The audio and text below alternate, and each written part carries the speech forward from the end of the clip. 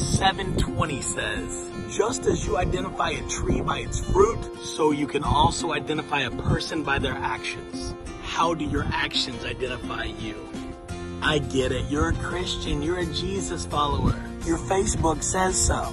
But if you were to strip away all the posts you make about being a Christian, strip away the game that you talk on Sunday, and truly make it not about your words, would people still identify you as a Jesus follower?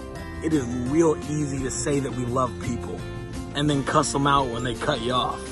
Guilty. You get offended when they don't treat you right. But God never said love people to the level that they love you back. He said love them like Jesus. So take a minute to reflect today. If my words were removed, would people still see Jesus in me?